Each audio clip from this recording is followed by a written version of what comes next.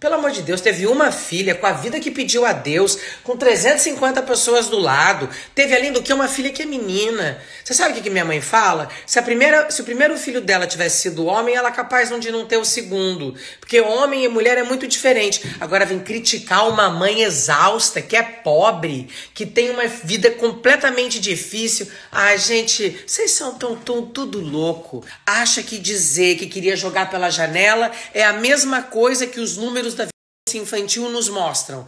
Acha mesmo? Gente, vocês têm que fazer um curso aí de interpretação de texto, de bom senso e inteligência emocional. Deixa de ser ideia curta, gente. Pelo amor de Deus, tenha empatia com as pessoas que não têm condições. Você sabe o que é ser pobre? Não sabe como é que vai pagar o aluguel, não sabe como é que vai comprar o presente da criança, como é que vai comprar o, o material escolar da criança. Não, não sabe o que é isso. Nunca viveu um perrengue na vida.